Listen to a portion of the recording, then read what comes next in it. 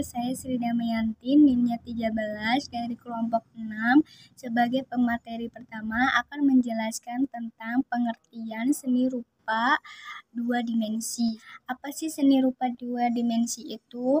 Seni rupa dua dimensi itu adalah karya seni rupa yang hanya memiliki dua ukuran atau sisi.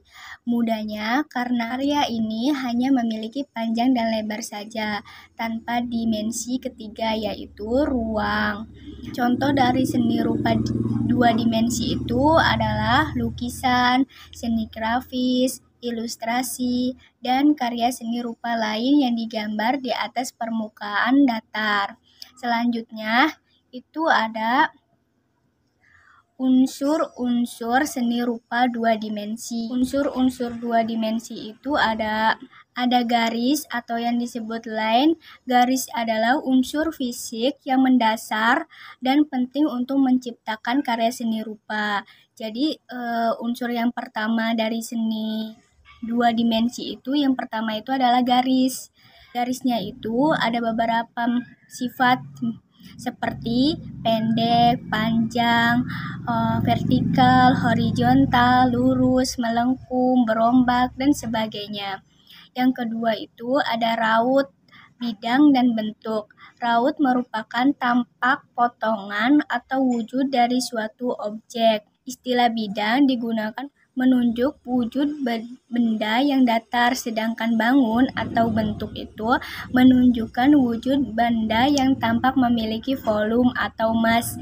Meskipun pada seni rupa dua dimensi, volume tersebut hanya ilusi. Yang ketiga itu ada ruang. Ruang dalam karya seni rupa dua dimensi itu berarti kesan dimensi dari objek atau background background yang terdapat pada karya seni. Terus yang keempat ada tekstur atau barik.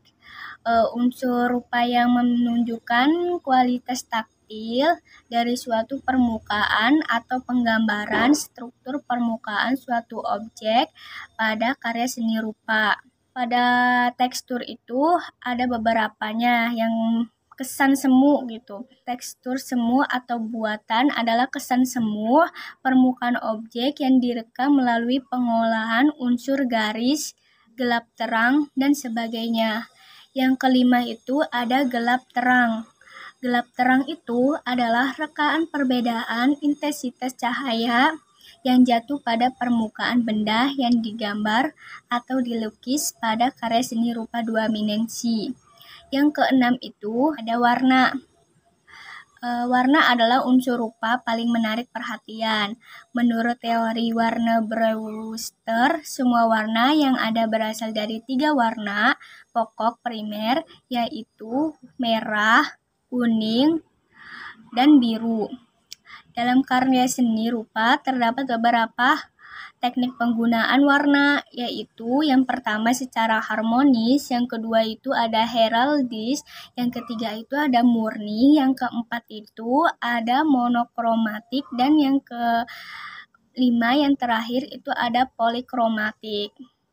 Nah, itu saja yang dapat saya jelaskan. Terima kasih. Assalamualaikum warahmatullahi wabarakatuh. Saya Resi Rahayu di sini saya akan menyebutkan bahan yang digunakan seni rupa dua dimensi. Yang pertama pensil, yang kedua konte, yang ketiga pensil warna, yang keempat krayon, yang kelima pena, yang keenam cat air, yang ketujuh cat minyak, yang kedelapan kanvas, yang kesembilan kuas, yang kesepuluh palet, dan yang terakhir kesebelas yaitu kertas materi selanjutnya yang akan dijelaskan oleh teman saya yaitu Maulidina. Assalamualaikum warahmatullahi wabarakatuh. Saya Mauludina Rahmawati dengan NIM 1912628 ingin menjelaskan tentang teknik seni rupa dua dimensi. Yang pertama itu ada teknik kolase. Teknik kolase itu merupakan teknik melukis dengan cara memotong kertas yang kemudian itu ditempelkan pada sebuah objek tertentu sehingga membentuk sebuah lukisan. Nah, hasil karya uh, kolase tersebut bisa disebut dengan mozaik. Yang kedua, yaitu ada teknik transparan. Teknik transparan merupakan teknik yang sering dipakai ketika menggambar atau melukis dengan menggunakan cat air. Yang ketiga itu ada teknik 3M, yaitu merekat, menggunting, dan menempel. Teknik 3M adalah merupakan proses manipulasi lembaran kertas yang akan menjadi suatu bentuk tiga dimensi. Selanjutnya, yang keempat ada teknik plakat. Teknik plakat itu sering dipakai untuk melukis. Teknik ini biasanya memakai cat poster dan cat minyak, sehingga menghasilkan warna yang padat dan pekat. Yang kelima itu ada teknik arsir. Teknik arsir ini dibuat dengan menorehkan pensil, tinta, dan alat-alat lainnya yang merupakan garis-garis berulang yang menimbulkan kesan gelap terang hingga gradasi. Selanjutnya, yang keenam ada teknik blok. Teknik blok itu adalah suatu teknik seni rupa dua dimensi yang digunakan untuk dapat menutupi objek lukisan dengan menggunakan satu warna. Yang ketujuh yaitu ada teknik akuarel. Teknik akuarel adalah teknik yang digunakan untuk dapat menutup bagian objek gambar yang dilakukan dengan cara menyapu cat cair secara tipis. Yang kedelapan itu ada teknik linier. Teknik linier adalah suatu teknik seni rupa dua dimensi untuk dapat menggambar objek dengan cara menggunakan pola garis dari pensil atau pena. Yang kesembilan ada teknik dusel. Teknik dusel adalah teknik menggambar dengan cara menggosok sehingga menimbulkan kesan gelap terang, tebal atau tebal tipis. Yang ke-10 itu ada teknik pointillis. Teknik pointillis adalah teknik menggambar atau melukis dengan menggunakan titik-titik hingga membentuk objek.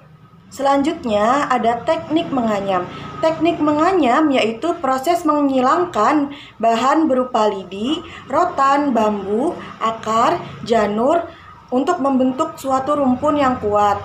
Dan yang terakhir ada teknik mozaik. Teknik mozaik adalah seni menciptakan gambar dengan menyusun kepingan-kepingan kecil berwarna dari kaca, daun, batu, atau bahan lainnya yang bisa digunakan untuk membuat mozaik.